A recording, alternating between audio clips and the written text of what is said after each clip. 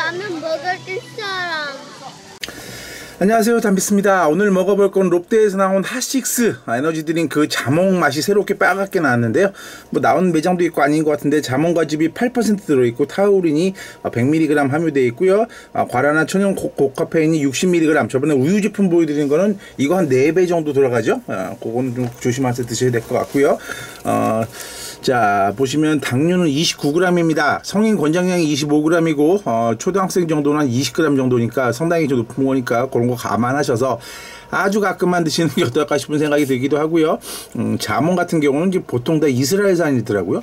이스라엘이 그 과일 같은 걸 많이 키우나 보더라고요. 네, 그렇게 되어 있는데 크림베리 농축액도 들어가 있고 자 이렇게 되어 있습니다. 자, 뭐 흔들면 안 되는 거 아닌가? 자, 조용히 싸서. 자, 어떤 건지 쌓아주세요. 자, 오. 자, 색상이 바뀌었습니다. 이게 예전에 하식스가 이거 저기, 그러고 보니까 자몽 말고 무슨 뭐 펀치 같은 것도 나왔다가 아마 작년에 나왔다가 아마 들어간 걸로 알고 있는데 이거는 뭐 자몽 맛으로 나왔어. 어떤 건지 기대가 되는데 자, 시원하게 먹어 봅시다. 아, 맛있다. 그 자몽의 그 시원한 맛이 잘 들어가 가지고요. 그냥 자몽 탄산음료 어, 그런 느낌의 맛이네요. 어, 맛은 괜찮을 것 같습니다. 자몽 느낌 원래 좀 자몽 드셔보시면 좀 새큼하잖아요. 시큼한 그거 맛은 좀 살짝 빠지고 그냥 괜찮게 들어간 것 같은데 음, 맛있네요. 몸에 안 좋은 게 맛있어.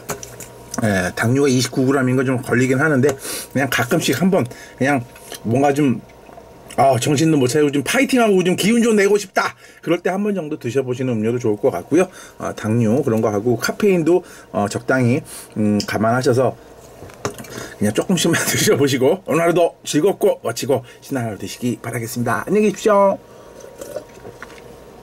아, 맛있긴 하다. 안녕하십니까. 구, 구독하고 추천해주세요. 여기까지.